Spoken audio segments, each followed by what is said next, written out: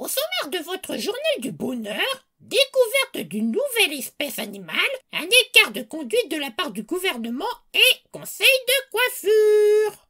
Le conseil scientifique vient de confirmer qu'à partir d'aujourd'hui, les ours en peluche seront considérés comme étant des animaux réels. Pourquoi donc une telle initiative envers les ours en peluche mais simplement parce que le fait de faire des ours en peluche dans les usines est beaucoup plus facile et plus rentable que de faire pécho les autres animaux. Ainsi donc, la faune et la flore sera sans cesse en renouvellement et ça fera tourner l'économie locale. Nous poursuivons notre journal sur un scandale énorme qui anime tous les réseaux sociaux.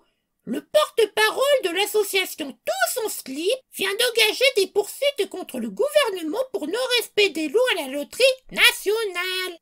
Et oui, aucun lot proposé ne peut servir de sous-vêtement, hein, ce qui est non conforme à la loi. Le caniche est désormais considéré comme étant une solution miracle pour les problèmes de calvitie. Cette méthode scientifique vient d'être approuvée par le gouvernement pour toute implantation capillaire. Et c'est déjà la fin des actualités d'aujourd'hui. On se retrouve demain pour vos informations quotidiennes du bonheur.